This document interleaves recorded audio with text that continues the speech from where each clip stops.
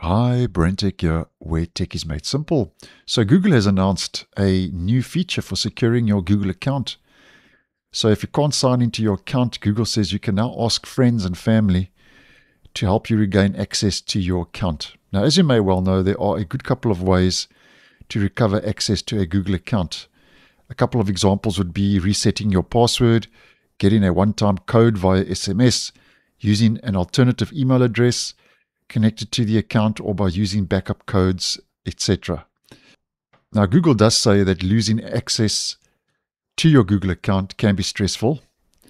Whether you've forgotten your password or lost the device that holds your passkey. And if this is indeed the case, it says that you may then have to take extra steps to prove account ownership. But that can be hard if you lost your phone or haven't updated your recovery phone number. So, because of this, Google says it's introducing Recovery Contacts, which is a new option that lets you choose trusted friends or family members to help if you ever get locked out of your Google account.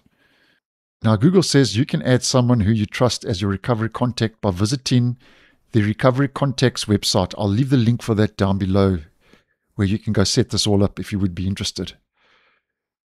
So, Google says that when you reach out to one of your recovery contacts for help, you'll share a code with them they will then get an email or notification. So here's the whole process here. Can't get into your account. You can ask a trusted friend to help with verification. Your friend does their part and you're all set to sign in. So basically, they will then get an email or notification and can confirm it's really you by verifying that code, helping you securely regain access to your account. Now, Google says that while you should choose someone you trust, obviously, I think that would make a lot of sense. Choosing someone you didn't would absolutely be ridiculous. Rest assured, Google says that your recovery contact will not have access to your account or any of your personal information, which is nice to know.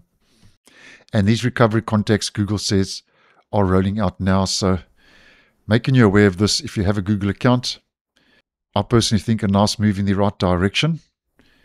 Let me know your thoughts down below. So thanks for watching, and I'll see you in the next one.